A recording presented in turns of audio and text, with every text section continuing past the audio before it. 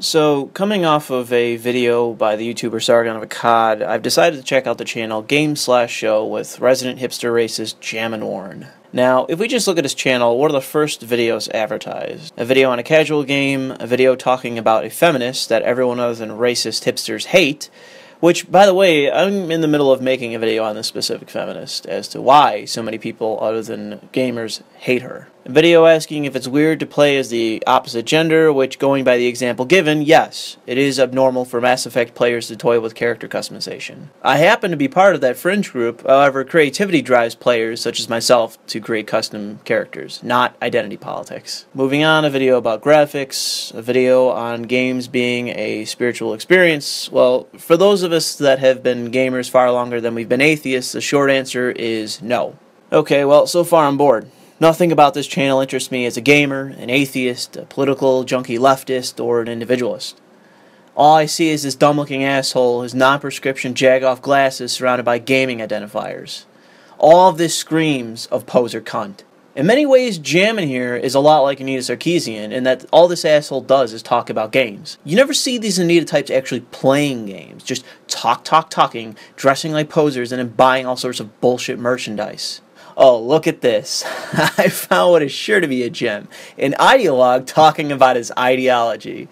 A word of warning though, because this is an 11 minute video, and you know, considering the fact that I'm responding to this video, I might take a while. Let's talk about how I became a video game feminist. Here we go.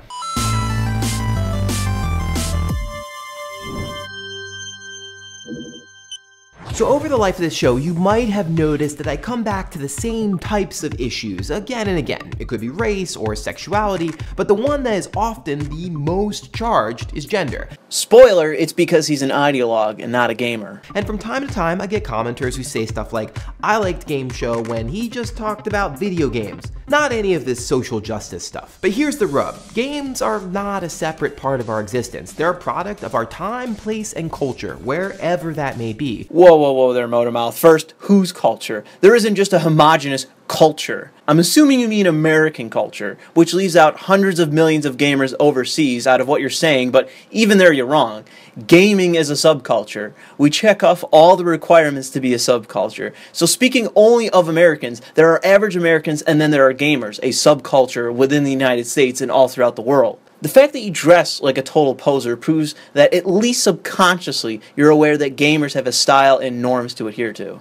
No medium transcends its context, not even video games, as much as I would like them to. So sometimes they reflect amazing aspects of our culture, and sometimes, intentional or not, they reinforce some of its flaws. What the fuck are you talking about? In what way does foreign made games reflect the cultural context of New York? It, how does The Witcher reflect my culture? In what way does Danganronpa or, or Catherine reflect my life in any way, shape, or philosophical fucking concept? Even in the case that a game was made in New York State about New York State culture, it doesn't change the fact that we're discussing fictional fucking content, you pseudo-intellectual cunt. It could be about anything. And this means games are part of one of the most pointed, contentious, and important movements of the last 100 years, assuring women a place alongside men in every conversation. This may be hard to accept. Sometimes you likely feel helpless or under attack. Sometimes it feels impossible to both love games and be critical of them. But that's what it means to be a critic of games, and hopefully a game show viewer as well. To be able to look at the medium we love and ask really hard questions like how we can be better at treating women equally in the world of games. Besides, talking about gender has been really important to us at Game Show. I mean, we want a telly for it. Ah, so you've been awarded for bad behavior in the past, and now you're incentivized in pursuing accolades rather than actually representing the subculture. I'm starting to understand your channel a bit more there, Jamin. But today, I wanted to give you a little more context for why I talk about gender and the role of women in the world of games. Are we just going to ignore that last part where you earned an award and how that incentivized you to, you know, to actually continue to do what you do? Okay. Or put another way, how I became a video game feminist. A little bit of background. Back in 2008, I rediscovered video games. They had been a big part of my life as a teen, whiling away countless hours playing Quake in my school's computer lab. When I got to college, it was pretty much all Smash Brothers, with friends on the N64, which I've talked about before. Then I just stopped playing. Easy answer. It's because you aren't a gamer. Gaming for you was burning some time with friends. That's it. I know how this is going to sound, but I really don't like Nintendo games. Call me paranoid, but I think that the majority of people that cite Nintendo fandom uh, do so as a means to try to appear as an old school gamer, rather than the obvious that they're either a casual player or an outright poser. Jamin here is just another example to me that if you aren't a gamer but want to fit in, you point in Nintendo. If I told you that I got into gaming through Telltale games, would you nod your head and say, oh, that guy is definitely a hardcore gamer? No. You'd say, oh, this guy's a fucking poser and a walking simulator fan. Rightly so, because Telltale games are casual as fuck, just like the massive majority of contemporary Nintendo games. Whatever, just continue. I'm not really sure why. Maybe it was a lack of easily available friends to play with. Maybe I was just 22 and trying really hard to grow up. And if I hadn't decided to start covering games at the Wall Street Journal, I might not have returned at all. This new world of games was exciting to me, and it was an amazing time for games writ large. You had big marquee titles like Bioshock and Assassin's Creed that were opening up new destinations, and you had smaller titles like Braid and Flower that were doing brave, experimental things. I then started interviewing game designers like Hideo Kojima and reviewing games in the Wall Street Journal for my own well, short-lived column. And as I got deeper, I started spending more time around games and game makers, not just as a consumer, but as a professional journalist. That meant early access to games, closed-door interviews, and a lot of industry events. The moment that it first struck me that games had a gender problem was when I watched a very senior male producer grab another female producer's butt at an official company party. I should have done something, but I didn't. I froze up, and I'm embarrassed about my inaction to this very day. And that was when I started noticing things about how women were being treated in the world of games, because I saw versions of that interaction over and over and over again. Okay, so one instance of bad behavior from one individual changed your perspective to indict the industry as a whole and gamers as a subculture as having problems with chauvinism even if I believe you, which I don't, I think that story is bullshit and you just invented it to justify your ideology. What it says is you have a massive problem with assuming the worst in people. I've never in my life sexually assaulted a person, and I doubt anywhere close to even a fraction of a percentage of gamers have.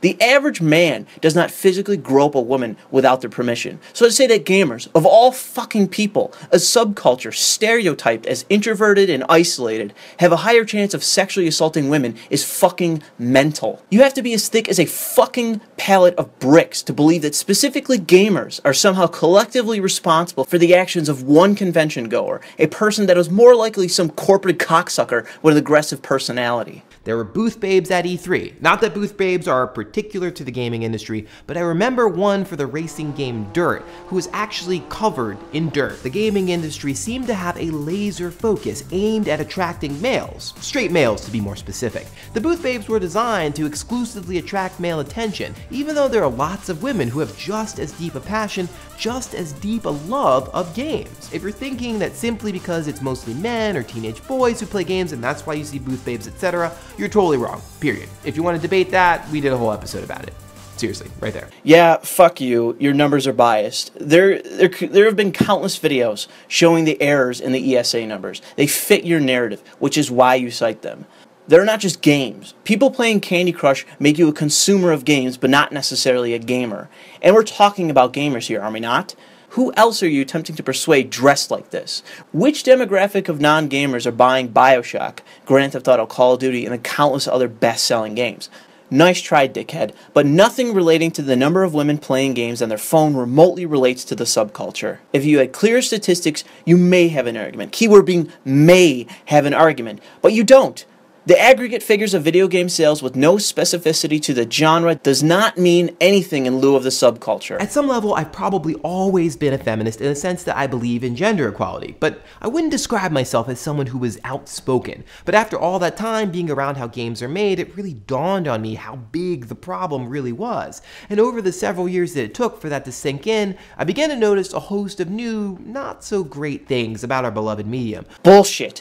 You named one instance of sexual assault assault that you admit to being too much of a fucking coward to call out. It was one event that I doubt even happened, and you think that it justifies your bias? Fuck you, man. You are a fucking bigot against gamers. You think we cheered on the guy, but you were the one that sat there and fucking let it happen without response. You're the one that's allowing chauvinism to occur. You, not me, not gamers. You are the pussy allowing women to be sexually harassed.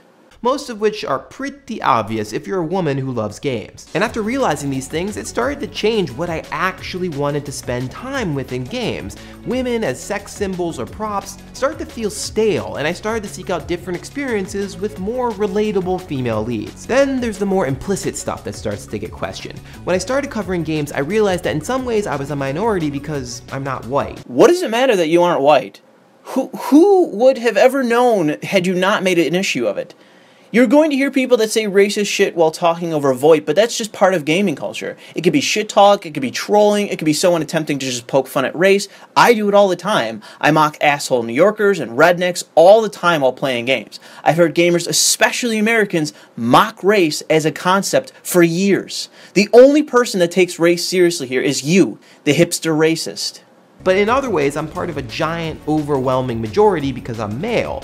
When I went to video game events or parties, they're almost exclusively male. I hadn't been around that many guys in a single room since my days at an all-male high school. So which is it? Are all women gamers or not? You disingenuous cunt. You just said, you just cited the bullshit numbers saying that women represent half of the consumer base. You are either dumb as fuck or fucking malignant.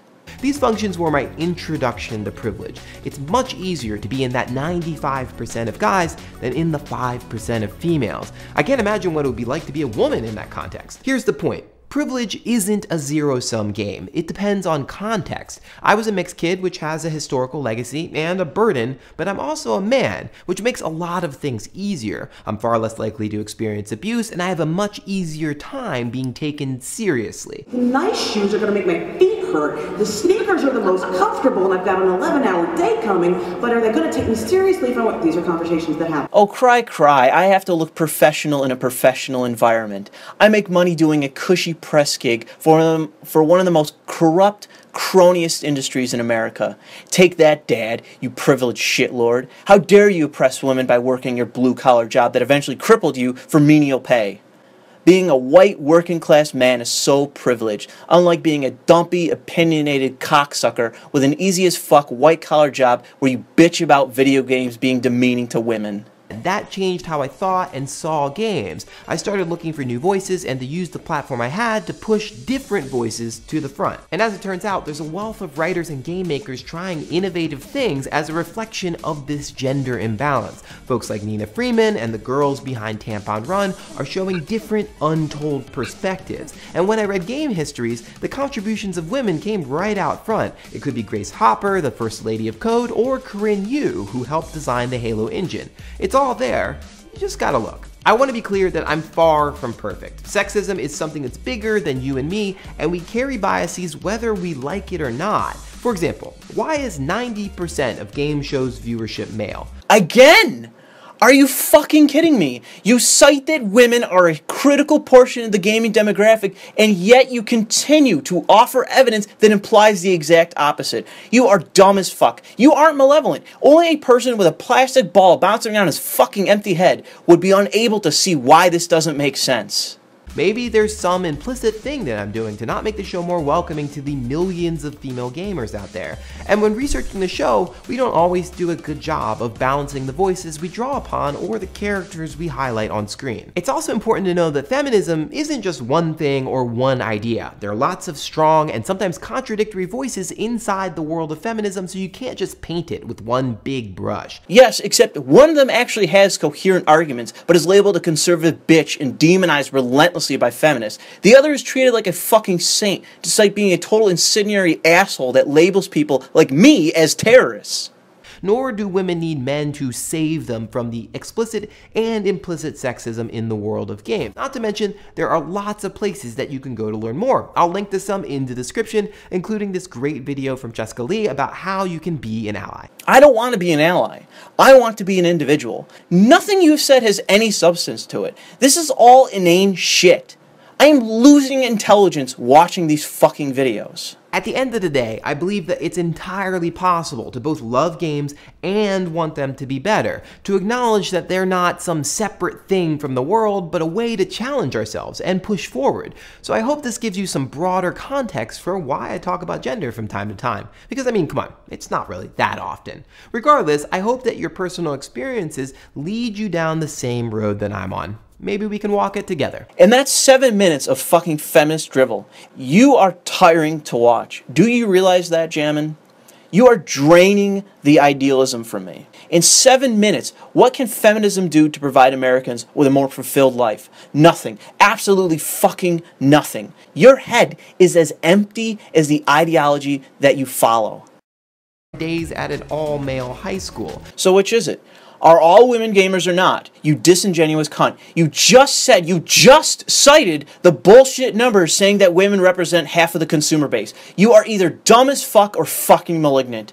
These functions were my introduction to privilege. It's much easier to be in that 95% of guys than in the 5% of females. I can't imagine what it would be like to be a woman in that context. Here's the point. Privilege isn't a zero sum game. It depends on context. I was a mixed kid, which has a historical legacy and a burden, but I'm also a man, which makes a lot of things easier. I'm far less likely to experience abuse, and I have a much easier time being taken seriously. Nice shoes are gonna make my feet The sneakers are the most comfortable, and I've got an 11 hour day coming, but are they gonna take me seriously if I want? These are conversations that happen. Oh, cry, cry. I have to look professional in a professional environment. I make money doing a cushy press gig for, for one of the most corrupt, cronyist industries in America.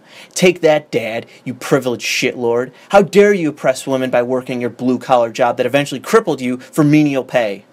Being a white working class man is so privileged, unlike being a dumpy, opinionated cocksucker with an easy as fuck white collar job where you bitch about video games being demeaning to women. That changed how I thought and saw games. I started looking for new voices and to use the platform I had to push different voices to the front. And as it turns out, there's a wealth of writers and game makers trying innovative things as a reflection of this gender imbalance. Folks like Nina Freeman and the girls behind Tampon Run are showing different untold perspectives. And when I read game histories, the contributions of women came right out front. It could be Grace Hopper, the first lady of code, or Corinne Yu, who helped design the Halo engine. It's all there.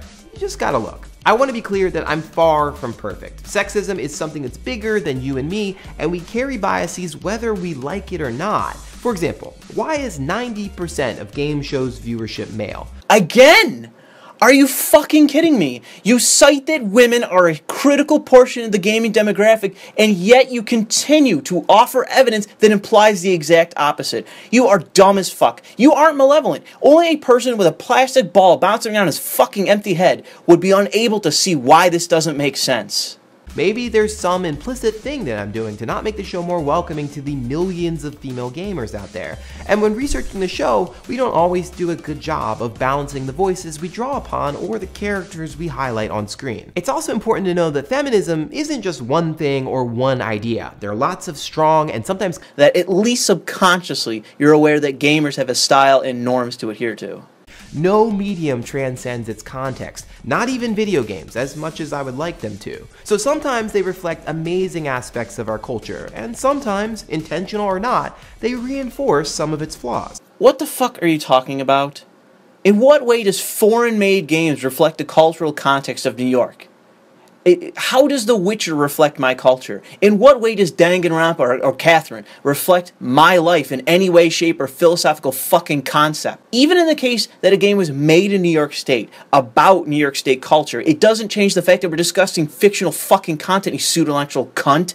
It could be about anything. And this means games are part of one of the most pointed, contentious, and important movements of the last 100 years, assuring women a place alongside men in every conversation. This may be hard to accept. Sometimes you likely feel helpless or under attack. Sometimes it feels impossible to both love games and be critical of them. But that's what it means to be a critic of games, and hopefully a game show viewer as well. To be able to look at the medium we love and ask really hard questions, like how we can be better at treating women equally in the world of games. Besides, talking about gender has been really important to us at Game Show. I mean, we want a telly for it. Ah, so you've been awarded for bad behavior in the past, and now you're incentivized in pursuing accolades rather than actually representing the subculture. I'm starting to understand your channel a bit more there, Jamin. But today, I wanted to give you a little more context for why I talk about gender and the role of women in the world of games. Are we just going to ignore that last part where you earned an award and how that incentivized you to, you know, to actually continue to do what you do? Okay. Or put another way, how I became a video game feminist. A little bit of background. Back in 2008, I rediscovered video games. They had been a big part of my life as a teen, whiling away countless hours playing Quake in my school's computer lab. When I got to college, it was pretty much all Smash Brothers, with friends on the N64, which I've talked about before. Then I just stopped playing. Easy answer. It's because you aren't a gamer. Gaming for you was burning some time with friends. That's it. I know how this is going to sound, but I really don't like Nintendo games. Call me paranoid, but I think that the majority of people that cite Nintendo fandom uh, do so as a means to try to appear as an old school gamer, rather than the obvious that they're either a casual player or an outright poser. Jamin here is just another example to me that if you aren't a gamer but want to fit in, you point to Nintendo. If I told you that I got into gaming through Telltale games, would you nod your head and say, oh, that guy is definitely a hardcore gamer? No. You'd say, oh, this guy's a fucking poser and a walking simulator fan. Rightly so. So, coming off of a video by the YouTuber Sargon of Akkad, I've decided to check out the channel Game Slash Show with resident hipster racist Jamin Warren. Now, if we just look at his channel, what are the first videos advertised? A video on a casual game, a video talking about a feminist that everyone other than racist hipsters hate, which, by the way, I'm in the middle of making a video on this specific feminist as to why so many people other than gamers hate her. A video asking if it's weird to play as the opposite gender, which, going by the example given, yes, it is abnormal for Mass Effect players to toy with character customization. I happen to be part of that fringe group, however, creativity drives players, such as myself, to create custom characters, not identity politics. Moving on, a video about graphics, a video on games being a spiritual experience. Well, for those of us that have been gamers far longer than we've been atheists, the short answer is no. Okay, well, so far I'm bored. Nothing about this channel interests me as a gamer, an atheist, a political junkie leftist, or an individualist. All I see is this dumb looking asshole, his non prescription Jagoff glasses surrounded by gaming identifiers. All of this screams of poser cunt. In many ways, Jamin here is a lot like Anita Sarkeesian in that all this asshole does is talk about games. You never see these Anita types actually playing games, just talk, talk, talking, dressing like posers, and then buying all sorts of bullshit merchandise. Oh, look at this. I found what is sure to be a gem an ideologue talking about his ideology.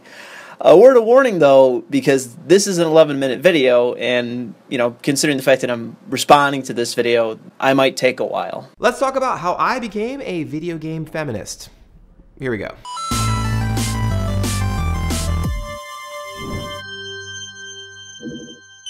So over the life of this show, you might have noticed that I come back to the same types of issues again and again. It could be race or sexuality, but the one that is often the most charged is gender. Spoiler, it's because he's an ideologue and not a gamer. And from time to time, I get commenters who say stuff like, I liked Game Show when he just talked about video games. Not any of this social justice stuff. But here's the rub. Games are not a separate part of our existence. They're a product of our time, place, and culture, wherever that may be. Whoa, whoa, whoa there, Motormouth. First, whose culture? There isn't just a homogenous culture. I'm assuming you mean American culture, which leaves out hundreds of millions of gamers overseas out of what you're saying, but even there you're wrong.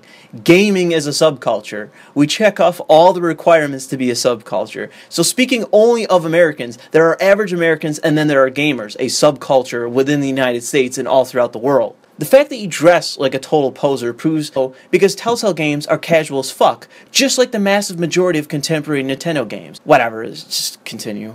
I'm not really sure why. Maybe it was a lack of easily available friends to play with. Maybe I was just 22 and trying really hard to grow up. And if I hadn't decided to start covering games at the Wall Street Journal, I might not have returned at all. This new world of games was exciting to me, and it was an amazing time for games writ large. You had big marquee titles like Bioshock and Assassin's Creed that were opening up new destinations, and you had smaller titles like Braid and Flower that were doing brave, experimental things. I then started interviewing game designers like Hideo Kojima and reviewing games in the Wall Street Journal for my own well, short-lived column. And as I got deeper, I started spending more time around games and game makers, not just as a consumer, but as a professional journalist. That meant early access to games, closed-door interviews, and a lot of industry events.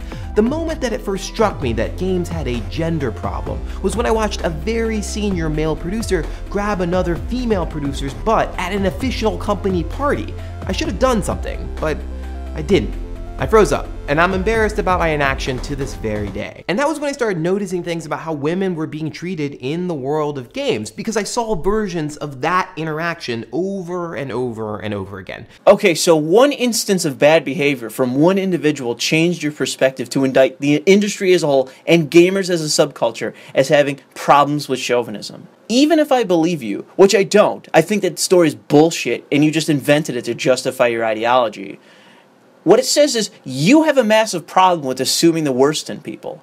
I've never in my life sexually assaulted a person, and I doubt anywhere close to even a fraction of a percentage of gamers have. The average man does not physically grope a woman without their permission. So to say that gamers, of all fucking people, a subculture stereotyped as introverted and isolated, have a higher chance of sexually assaulting women is fucking mental. You have to be as thick as a fucking pallet of bricks to believe that specifically gamers are somehow collectively responsible for the actions of one convention goer, a person person that was more likely some corporate cocksucker with an aggressive personality. There were booth babes at E3. Not that booth babes are particular to the gaming industry, but I remember one for the racing game Dirt, who was actually covered in dirt. The gaming industry seemed to have a laser focus aimed at attracting males, straight males to be more specific. The booth babes were designed to exclusively attract male attention, even though there are lots of women who have just as deep a passion, just as deep a love of games. If you're thinking that simply because it's mostly men or teenage boys who play games and that's why you see booth babes, etc.,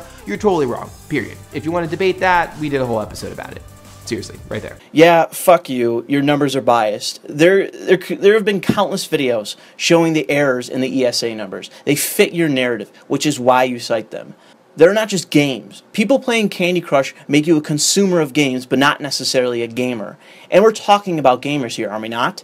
Who else are you attempting to persuade dressed like this? Which demographic of non gamers are buying Bioshock, Grand Theft Auto, Call of Duty, and the countless other best selling games?